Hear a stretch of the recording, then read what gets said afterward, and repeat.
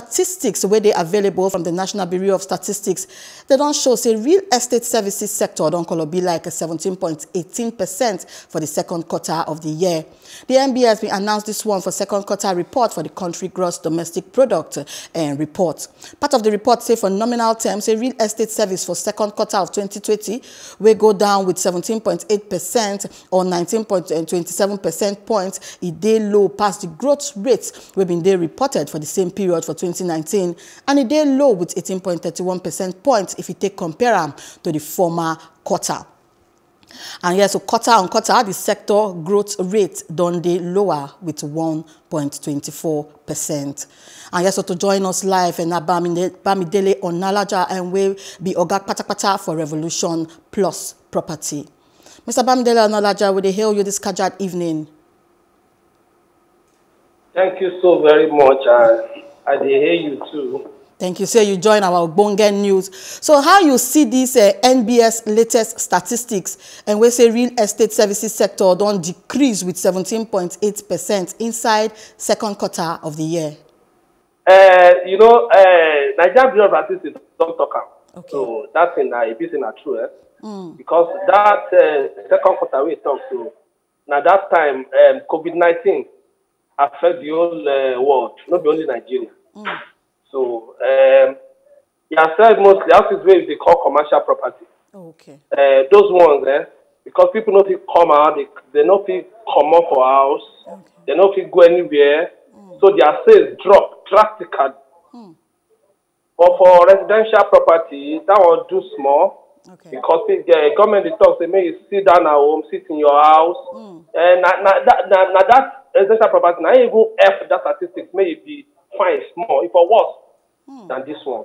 Okay. So the, the COVID-19 has affected not only real estate, but it don't affect all the business within Nigeria and Obodo Igbo. Okay. Uh, but uh, some other businesses, eh, even do worse more than uh, real estate. Real estate is still try small. Okay. Na 17.8% na im affect am.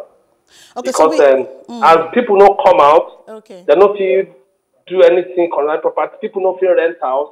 People no fit buy. Uh, the materials no fit buy. Other people no fit supply. Because supply chain dey for real estate. From artisans go reach uh, uh, people wey dey supply you material, iron, cement. So all those ones na it affect real estate because uh, they no fit come out.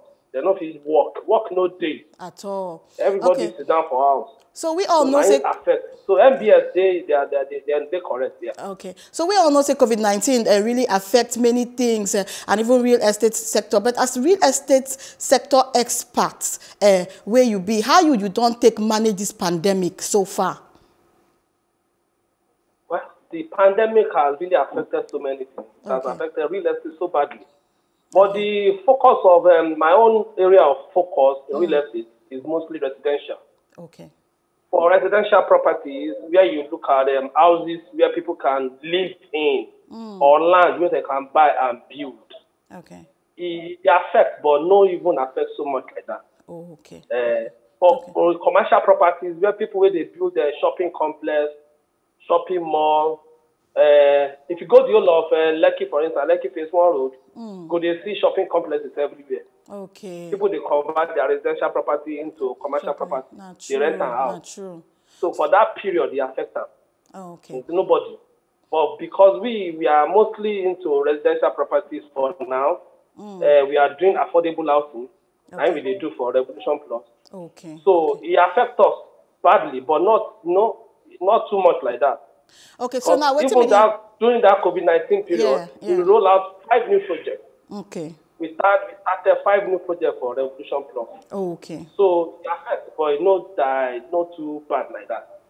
Okay, so wetin be the way forward now for real estate people after the pandemic? Wetin which other thing una una dey plan after the pandemic for real estate? Eh, we did plan so many things. Okay. Don't forget, say the, during that period we did uh, palliative.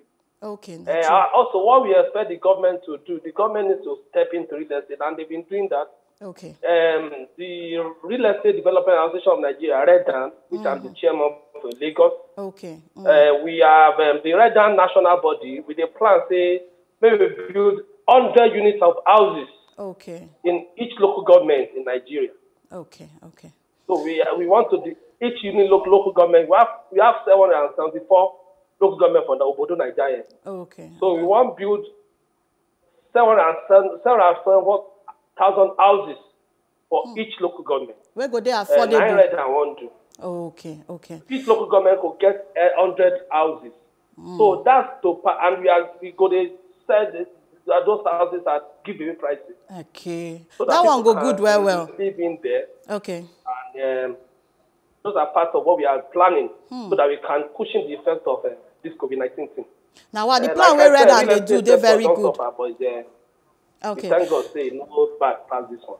Okay, and the plan we read and they do, they very good so that people go fit get affordable housing after this um, post uh, COVID period so that uh, things go there all right. Thank you so much, uh, uh, Mr. Bamidele Onalaja, will be the Oga Patapata of Revolution Plus Property and the Chemo of uh, Redan. Thank you, sir. Make you get to Bonga evening.